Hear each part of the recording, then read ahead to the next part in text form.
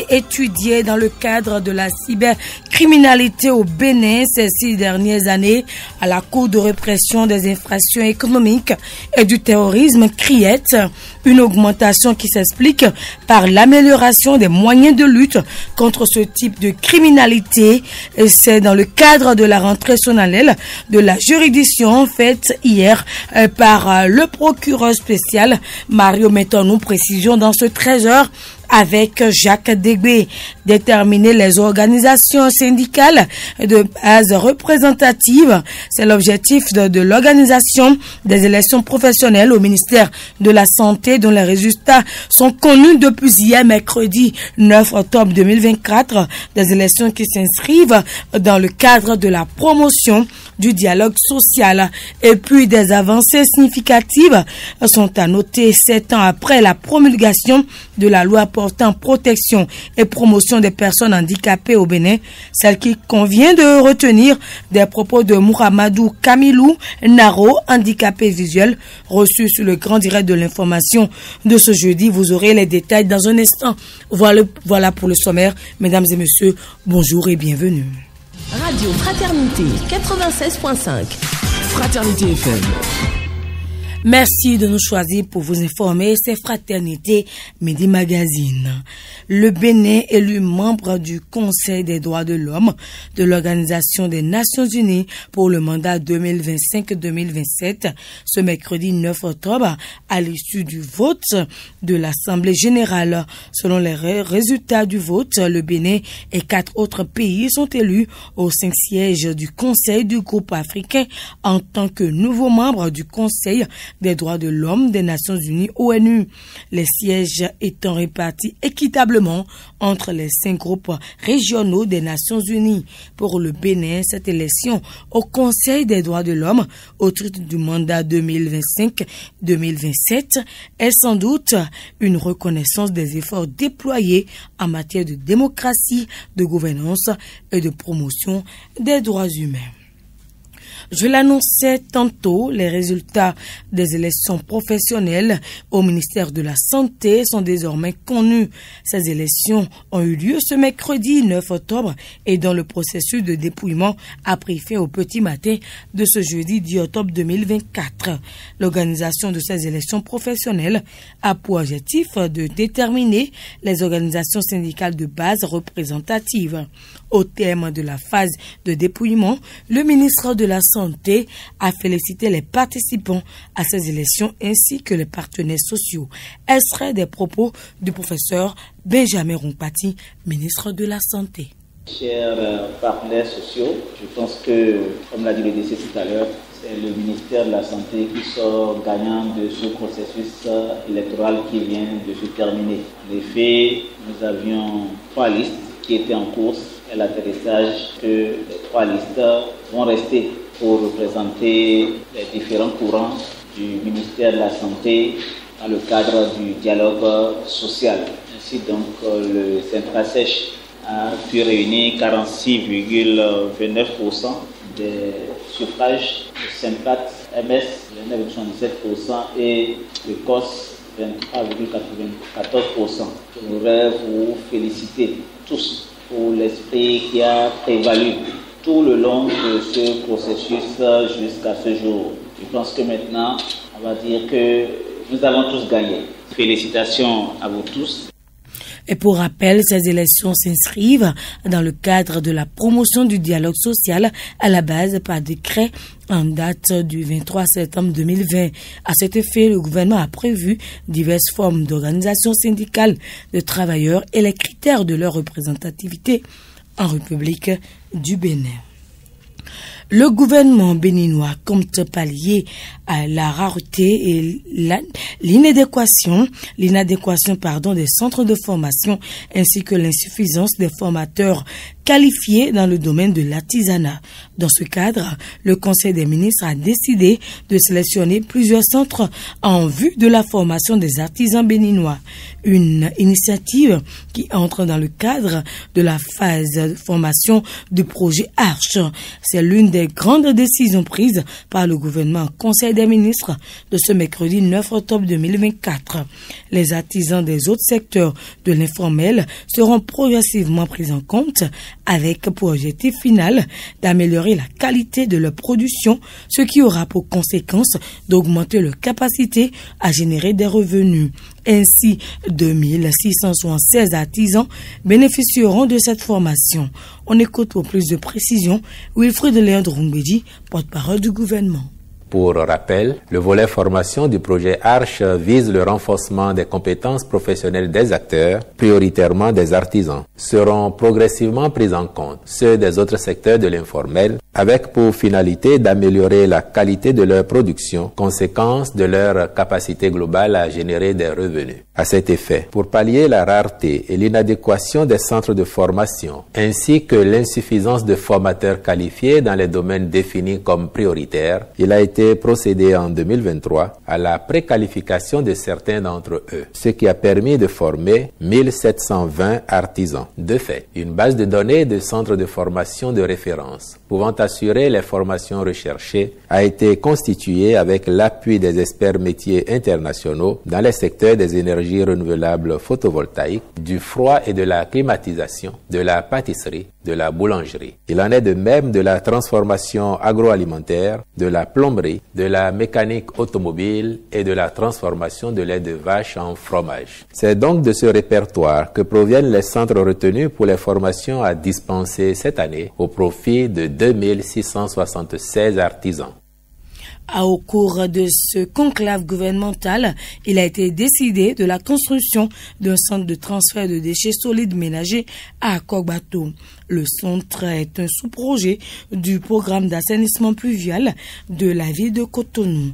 Plus de détails avec le secrétaire adjoint porte-parole du gouvernement, Wilfred Leandro Le centre est un sous-projet du programme d'assainissement pluvial de la ville dont l'exécution nécessite la réalisation d'une mission complète d'avant-projet sommaire, d'avant-projet détaillé, d'élaboration du dossier d'appel d'offres ainsi que du contrôle et de la supervision des travaux de sa construction compte non tenu de la réalisation d'une étude d'impact environnemental et social. En marquant son accord pour la contractualisation irrelative, le Conseil a instruit le ministre du cadre de vie et des transports chargé du développement durable, de veiller à la bonne exécution du cahier des charges.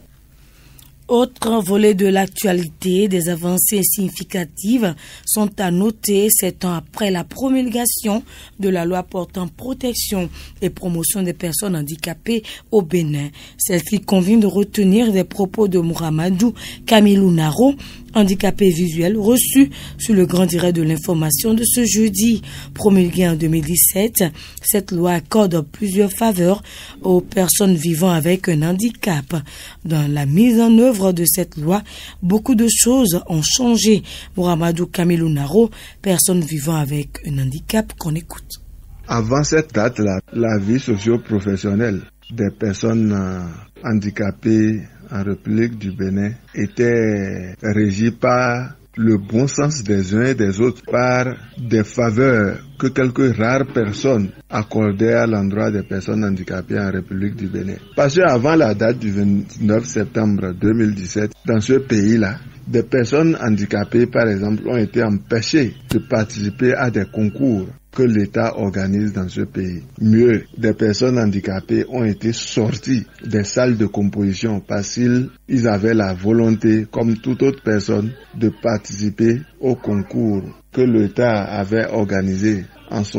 Quand par exemple vous suivez cet état des lieux, vous comprenez avec moi que cette loi-là intervenue en 2017 ne peut être que salutaire pour les personnes handicapées parce qu'elle offre un large éventail d'avantages à cette couche de la société. Désormais, les personnes handicapées font objet d'une attention particulière de la part des pouvoirs publics, selon Mouramadou Kamilou Naro. Il parle de l'impact de cette loi sur leurs conditions de vie. Extrait de ses propos. Cette loi-là renforce le niveau d'inclusion des personnes handicapées. Cette loi autorise le gouvernement, lorsqu'il organise un concours, de réserver un quota de 5% pour les personnes handicapées. Hormis tout ça, cette même loi accorde des facilités aux personnes handicapées, fait notamment facilité d'accès au niveau des transports publics et elle accorde aux personnes handicapées une priorité au niveau des places assises, au niveau de ces mêmes euh, transports publics en République du Bénin. Pour obtenir une quelconque bourse ou secours, il faut avoir 18 ans. L'handicapé visuel qui a la moyenne retenue et qui a 23 ans peut bénéficier de cette bourse-là. Par exemple, depuis le 3 août 2024, il y a ce communiqué radio divisé là qui passe abondamment appelant les personnes handicapées qui désirent entreprendre ou qui ont déjà des activités qu'elles mènent à soumettre des demandes de financement. La même loi prévoit des appuis du gouvernement aux personnes handicapées qui se lancent dans l'entrepreneuriat, seul ou en groupe. Cette même loi permet au gouvernement d'appuyer les centres d'éducation et de formation des personnes handicapées en République du Bénin. Et puis je l'annonçais tantôt, les procédures liées à la cybercriminalité sont en nette augmentation au Bénin.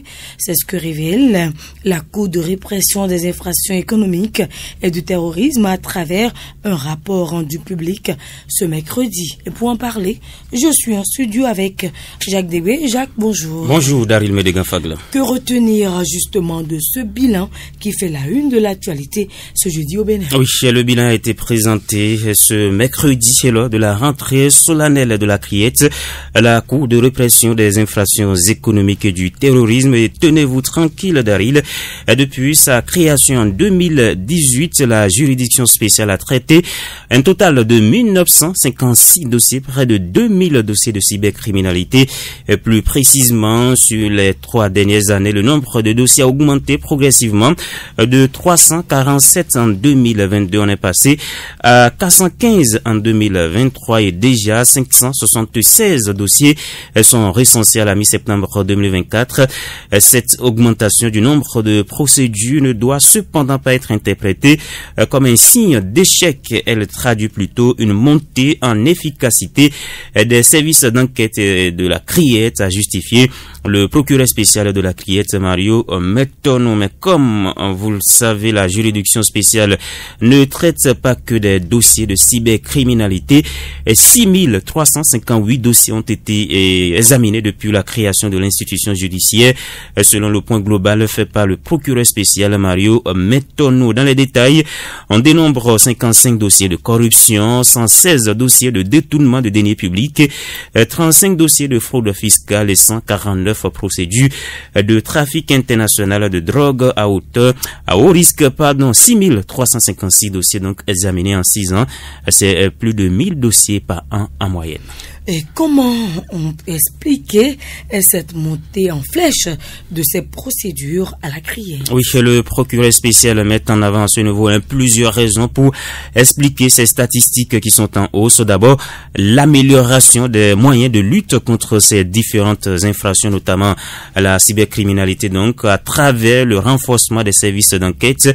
Mario Metton parle également de la création du Centre national d'investigation numérique CENIN qui permet désormais une meilleure couverture géographique des enquêtes étendues au-delà de Cotonou à l'ensemble du territoire national. Ce centre couplé à la direction de la lutte contre la cybercriminalité a contribué à la production de rapports de qualité, facilitant ainsi les condamnations. Nous allons justement écouter le procureur spécial de la Criette, Mario Metonou, sur les causes de cette flambée des chiffres en ce qui concerne les procédures à la Criette le blanchiment de capitaux.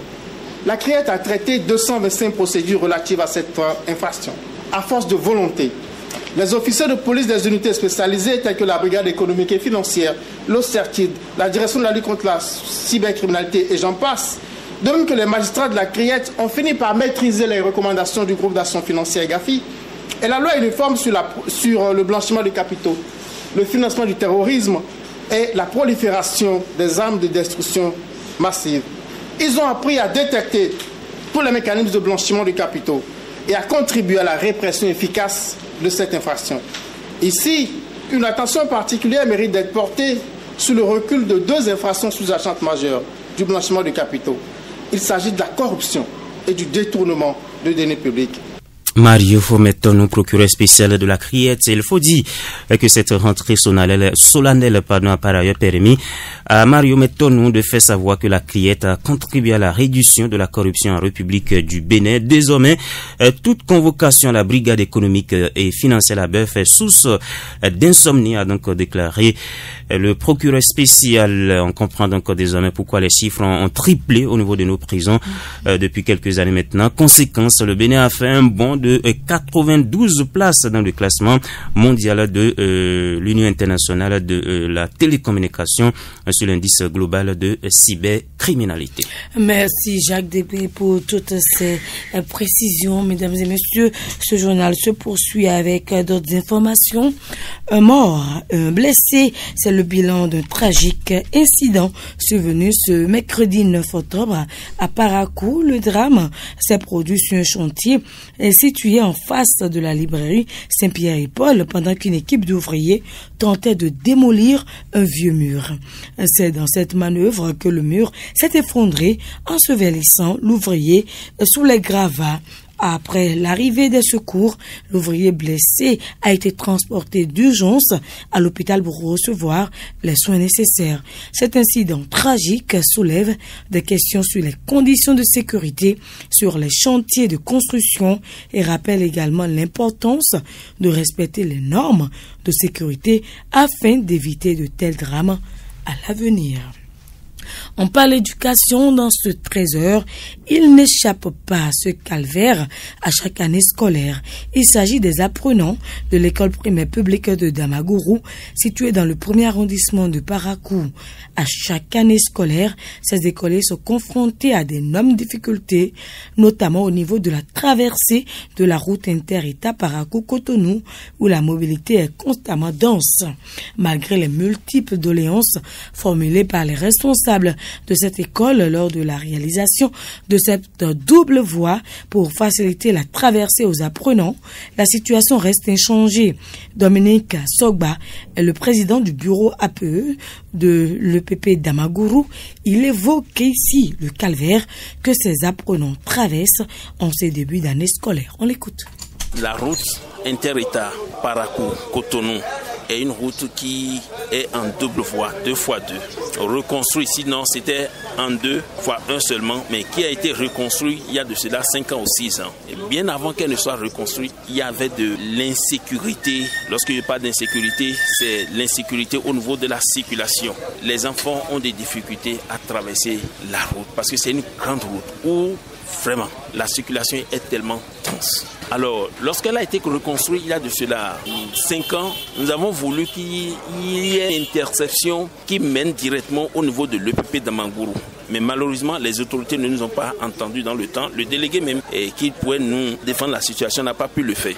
Du coup, la voie a été fermée. Et la vitesse, l'essai de vitesse, lorsque les gens quittent d'abord, en sortant de Parakou, ils quittent euh, le rond-point Bemenga, ils lancent la vitesse pour traverser ça crée de l'insécurité.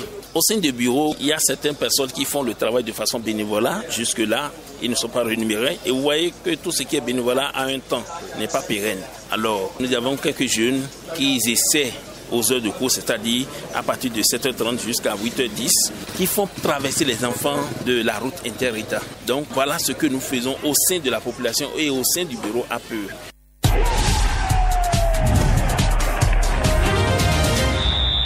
Et puis Chavi, bonjour. Bonjour Daryl. Vous êtes là pour les informations sportives éliminatoires Chan 2024, les guépards locaux désormais fixés. Oui, la Confédération africaine de football, la CAF, a procédé au tirage des confrontations pour les éliminatoires du championnat d'Afrique des Nations 2024 ce mercredi 9 octobre 2024 au Quai en Égypte.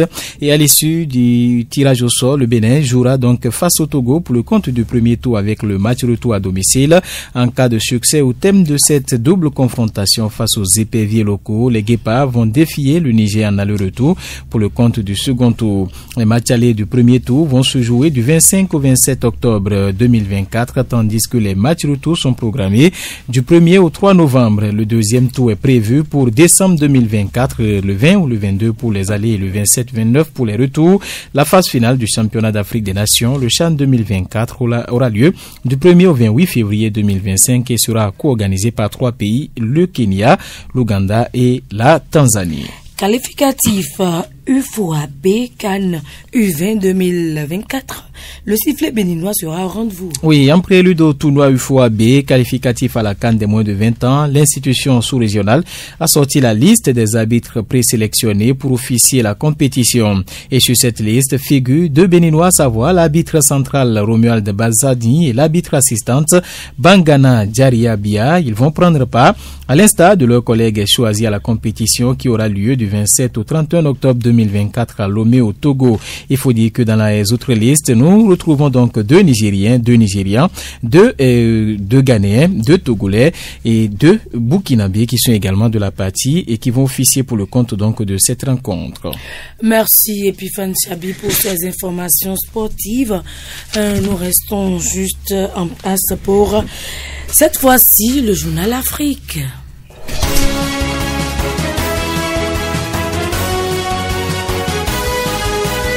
Aurel Ouassou, bonjour. Bonjour, bonjour à tous. On commence par la Guinée. Le pays n'intégrera pas l'AES. Le Premier ministre de la Guinée a confirmé que son pays ne rejoindrait pas l'Alliance des États du Sahel. Il a affirmé l'engagement de la Guinée au sein de la CDAO et a plaidé pour une réforme interne de l'organisation afin de mieux permettre de répondre aux défis actuels. Selon Amadouba, la Guinée reste attachée à la CEDEAO, qu'il considère comme un cadre de coopération essentiel malgré ses faiblesses actuelles. Malgré l'importance stratégique que pourrait représenter l'AES dans la sous-région, le Premier ministre estime que la CEDEAO, faute depuis plus d'une cinquantaine d'années, demeure l'organe de coopération le plus pertinent. Au Mali, pour finir, Assimi Goïta reçoit une délégation turque. Au palais de Koulouba, le chef de l'État, le colonel Assimi Goïta, a reçu en audience une délégation russe par Oran Ates, président de groupe d'amitié Turquie-Mali, occasion pour les deux parties d'aborder les sujets d'intérêt commun, notamment la coopération bilatérale, le développement économique et les défis sécuritaires auxquels le pays est confronté. Les deux parties ont insisté sur l'importance d'un partenariat renforcé pour accompagner la transition en cours dans le pays. Merci Aurel Ouessou pour ces informations hors de nos frontières. Mesdames et messieurs, nous allons retrouver Epiphane Chabi, c'est pour la revue de presse nationale.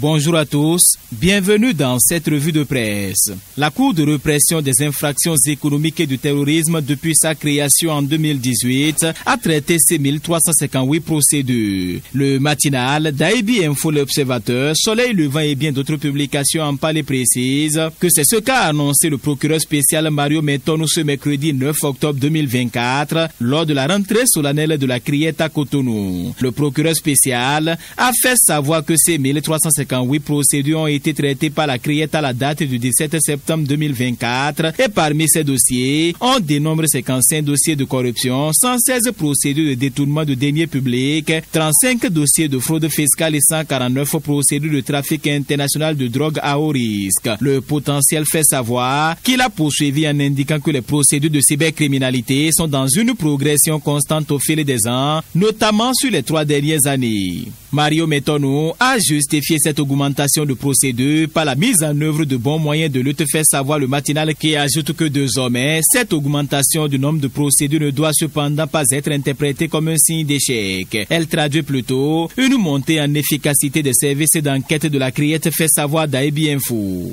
Le procureur spécial a expliqué que la répression qui se limitait seulement à Cotonou et environ en ce qui concerne la cybercriminalité s'est désormais étendue sur tout le territoire national. Et à l'en croire, le Centre national d'investigation numérique SNIN produit des rapports de très grande qualité qui permettent au paquet spécial de soutenir sans difficulté l'accusation et d'obtenir la condamnation des prévenus de cybercriminalité. Et pour conclure, il a indiqué que la juridiction spéciale a de l'influence sur d'autres infractions comme la corruption et le détournement de deniers publics qui sont en baisse, conclut l'observateur. Dans la suite de cette revue, le gouvernement a procédé ce mercredi 9 octobre octobre 2024 en Conseil des ministres à la sélection des centres chargés de la formation des artisans béninois au titre de l'année 2024 dans le cadre de H Formation. Après la formation de 1720 artisans en 2023 dans le cadre de cette initiative, 2676 autres bénéficieront de ce volet au titre de l'année 2024. 24 au Bénin, la Nation, Fraternité, la Nouvelle Tribune et bien d'autres publications en parlent font savoir que c'est dans ce cadre que le gouvernement a procédé en conseil des ministres de ce mercredi à la sélection des centres chargés de dispenser la dite formation. Le volet formation du projet H vise le renforcement des compétences professionnelles des acteurs, prioritairement des artisans et seront progressivement pris en compte ceux des autres secteurs de l'informel avec pour finalité d'améliorer la qualité de leur production, conséquence de leur capacité globale à générer des revenus, a rappelé le gouvernement repris par la nouvelle tribune, la Nation Fraternité 24 au Bénin et bien d'autres journaux. Toujours en conseil des ministres de ce mercredi, la direction générale des eaux, forêts et chasse a un nouveau patron. Il a nom Adjaku Akuta Adjinda et sa nomination a été prononcée sur proposition du ministre du cadre de vie des transports, chargé du développement durable, fait savoir le matinal qui informe que plusieurs autres nominations ont été également faites au ministère de l'Agriculture, de l'Élevage et de la Pêche, des Affaires sociales et de la microfinance. Parlons santé dans cette revue avec le potentiel qui informe que le Centre national hospitalier universitaire Hubert Kutukumaga s'apprête à entrer dans une nouvelle aide de soins médicaux avec le lancement imminent d'importants travaux de modernisation. Ce projet d'une valeur de 130 millions de francs CFA vise selon la publication à rénover les infrastructures de services de pédiatrie, améliorant ainsi la qualité des soins offerts aux patients. Les travaux qui vont démarrer après la finalisation des formalités administratives vont s'étendre sur une période de 8 mois. Ils comprendront la modernisation des systèmes d'électricité, de climatisation ainsi que l'amélioration du câblage et du réseau informatique conclut la publication. Parlons toujours réalisation d'infrastructures avec le matinal qui fait savoir que les clés du nouveau siège de l'Assemblée nationale seront remises fin décembre 2024. L'information a été rendue publique à la faveur d'une rencontre avec l'entreprise en charge de la réalisation des travaux et plusieurs membres de l'Assemblée nationale dont le président Louis Béounou Vlavonou. Après l'annonce de cette nouvelle, l'autorité parlementaire a fait savoir qu'il va falloir que la CIMAO échange à ce propos avec les différents services de l'Assemblée nationale pour voir ce qui peut être fait afin que le délai de décembre 2025 soit respecté, conclut les publications. Et dans les dernières secondes, FraternitéFM.bj fait savoir qu'un ouvrier a perdu la vie dans l'effondrement d'un mur sur un chantier à Parakou. Le tragique incident s'est produit ce mercredi 9 octobre 2024 en face de la librairie Saint-Pierre et Paul à Parakou. L'accident est survenu alors qu'une équipe de maçons tentait de démolir un vieux mur et malheureusement, ce dernier s'est effondré en s'évelissant l'ouvrier sous les gravats. Les secours ont été rapidement arrêtés et en plus de décès tragiques, un autre ouvrier a été blessé dans l'accident et a été transporté d'urgence à l'hôpital pour recevoir les soins nécessaires, conclut la publication. Fin de cette revue. Merci de m'avoir suivi.